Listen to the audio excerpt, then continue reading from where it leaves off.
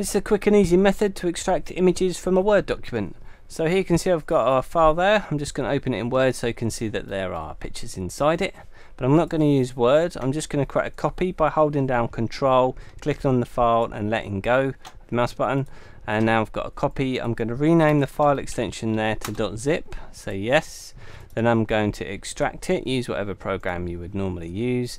That gives me this folder, which is the contents of the Word file. Then I'm going to go in this Word folder, in this media folder, and there are the contents or the images from that Word file.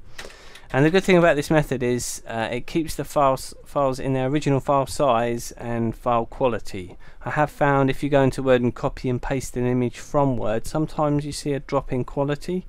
So this method works quite good for that. And that's pretty much it. I'll just cover a few little notes that you might need to be aware of. Uh, make sure it's in docx format.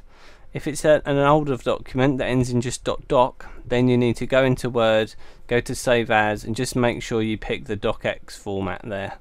And uh, that format's been around since about 2007, so your version of Word should be able to save that. Um, and the only other thing you might need to enable is if you go into, I'm using Windows 8 here, just make sure you've got file name extensions showing, that's under the View tab. And this also works on Mac and other versions of Windows, just make sure you've gone to the appropriate option to show your file name extensions. That's pretty much it. Hopefully this has been useful to you. If it has, please give me a thumbs up. If you'd like some help or you want to write me a comment, please do that below. And if you'd like to see more of this thing, please subscribe. Thanks for watching.